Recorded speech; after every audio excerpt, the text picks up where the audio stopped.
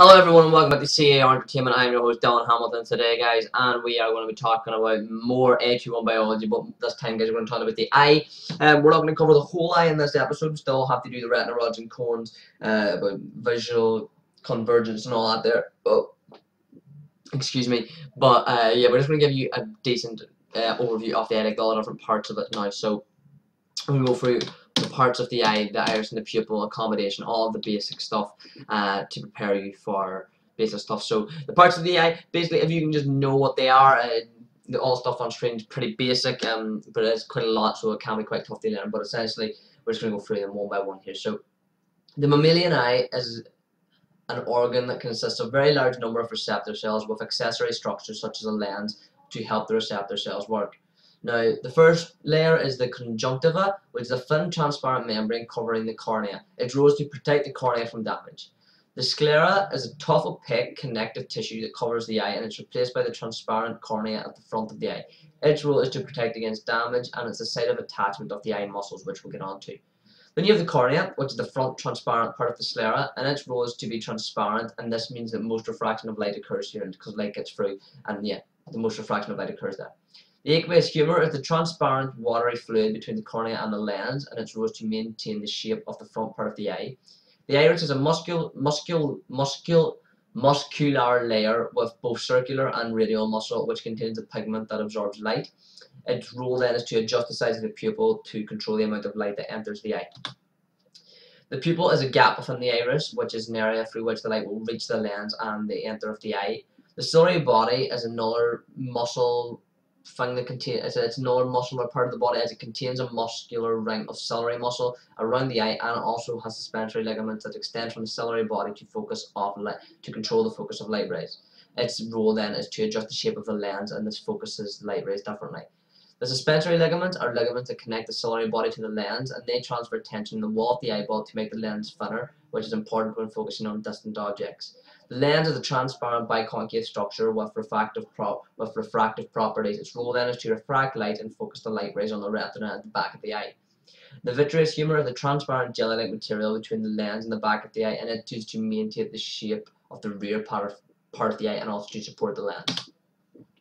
The retina is an inner layer of the eyeball containing light-sensitive receptor cells known as rods and cones and the role of this is to is that uh, it initiates impulse in associated neurons when it's stimulated. The fovea is a region in the retina that is particularly rich in cones and it does not contain any rods, and it's the part of the eye that gives the clearest daylight color vision.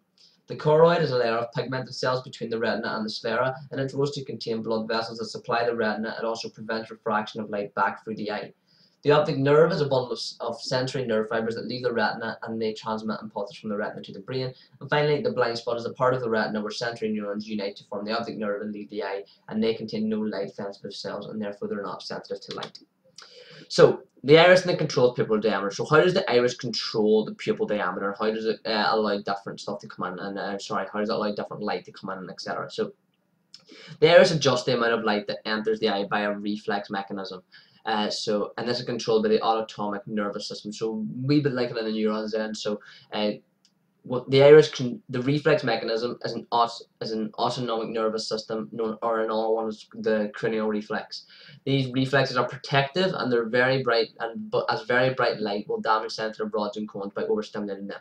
So, if you look directly at the sun, then your eye, your iris will basically lower that pupil diameter very very small, uh, which is an autonomic nervous system um, which is what the autonomic nervous system will do, and then that'll basically mean that you're not going to, it'll protect because it's a reflex, and you're not going to take as much light because it can hurt the eye.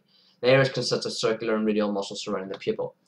Uh, and then we're going to talk about how the iris is used in bright light and dim light. So in bright light, a nervous impulse will be sent along a parasympathetic nerves, and these impulses will stimulate the circular muscles to contract. The radial muscles will then relax, so the pupil will become smaller and less light will enter. Essentially, an iris in bright light will have the circular muscles contract, the radial muscles will relax, the pupil will become smaller and less light will enter. And this is the opposite in dim light, as when the nervous impulse is sent along the sympathetic nerves, it will stimulate the circular muscles to relax, the radial muscles to contract, which will dilate the pupil, making it wider and more light enter. The circular and radial muscles work antagonistically, and the second function is to prevent any light entering other than through the pupil. The iris is pigmented, giving the eye colour blocking out light. Accommodation is the focusing of light rays onto the retina from objects at different distances. The focusing will involve the refraction of light rays occurring when light rays pass from one medium to the next having a different density. Most refraction will take place at the cornea, but the degree here cannot be adjusted as refraction is adjusted at the lens, which is when the shape will be changed altering the amount of refraction. Changing the shape regularly is, is regularly required and it's altered to look at near distant objects. So basically, how, how far you can see distant or close objects is determined by the lens and how the lens is adjusted, but the refraction of the cornea doesn't do any of that there. It's all about the lens. So whenever you're viewing distant objects, the light rays will be parallel and they will require little refraction to bring them to focus. At distant objects, your circular ciliary muscles will relax, meaning the wider ring will pull on the suspensory ligaments and these ligaments will become taut. These ligaments will then pull on the lens, making it flatter, meaning that it will become less rounded and cause less refraction, which is aided by internal pressure of the eye caused by the vitreous humor helping widen the ciliary muscles and tighten the ligaments. Essentially, all you need to know is that when viewing distant objects, the circular ciliary muscles will relax, and this will cause the suspensory ligaments to be taut. These ligaments will then pull on the lens, making it flatter. When looking at near objects, light rays will enter and they'll spread out, and this will require more refraction, which means the circular ciliary muscles will contract, meaning, the ring will be narrower, and the suspensory ligaments will be loose, meaning they're not pulled by the muscles. The lens will not be stretched as, as elastic, it will revert to the natural rounded shape, meaning the fatter lens will mean more refraction and a sharp focus will be achieved.